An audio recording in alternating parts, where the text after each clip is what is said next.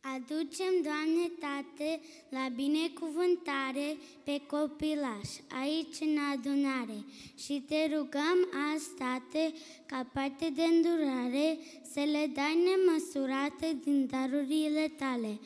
Nu aur nici argint, să-l dai ca moștenire, fele un terebind, plin de neprienire.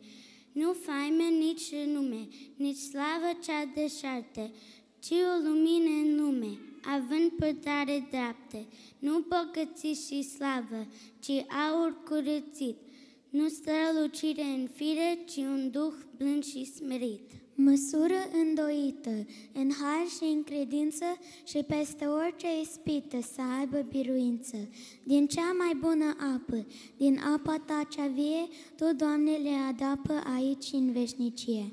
Din pâinea adevărată, aici și o în pustie, să o dai nemăsurată până în veșnicie.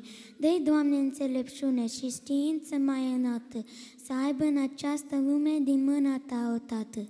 Când va striga în durere cu glasul spre altar, tremite tu putere din tronul tău de har. Iar dacă nimicitorul împrejur se va furiși, rămâi apor, apărătorul și nu le părăsi.